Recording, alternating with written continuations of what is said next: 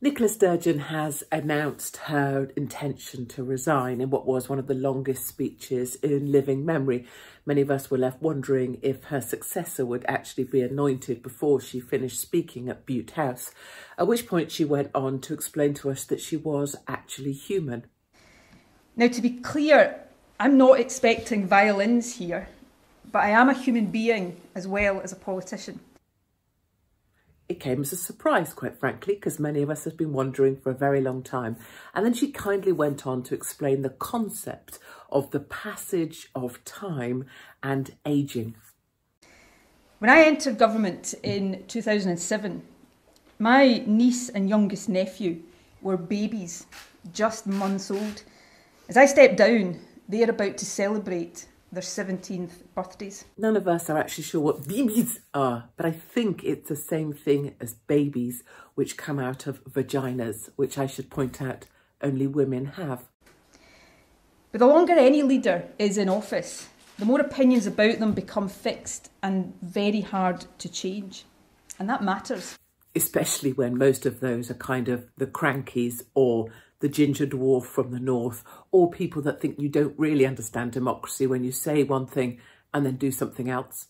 That the fixed opinions people increasingly have about me, as I say, some fair, others little more than caricature, are being used as barriers to reasoned debate in our country. Statements and decisions that should not be controversial at all quickly become so.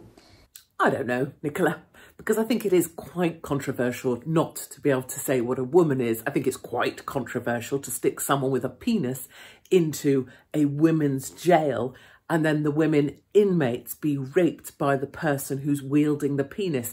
I feel like that sort of stuff is actually pretty controversial, as is saying that an independent referendum would be the last one, but then not getting the result you wanted, and so going on to have as many as you need until you get independence, which you've never got?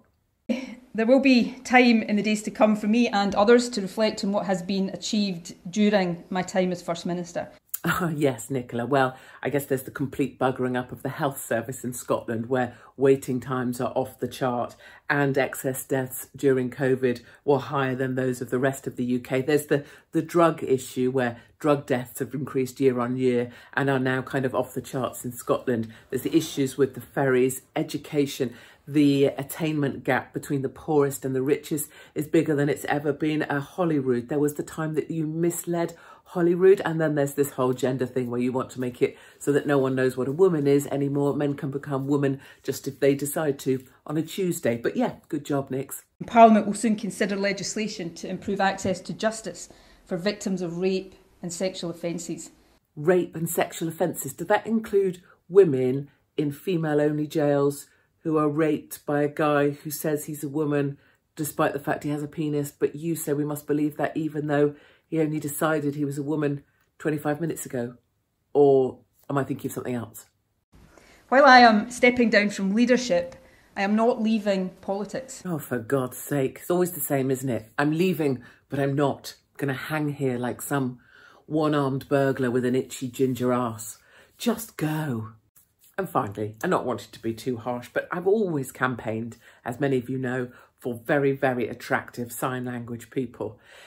I just think it helps lift the mood, gives people something to look at, like the weather girl on TV that everybody likes, including Lovely Mark, gives you something to kind of watch when you're being a bit bored by Nicola droning on and on. And still, she has refused to take my advice to get hot sign language people. First Minister, if you can't. So, in fact, I think I'm amongst many in saying that I'm glad she's gone.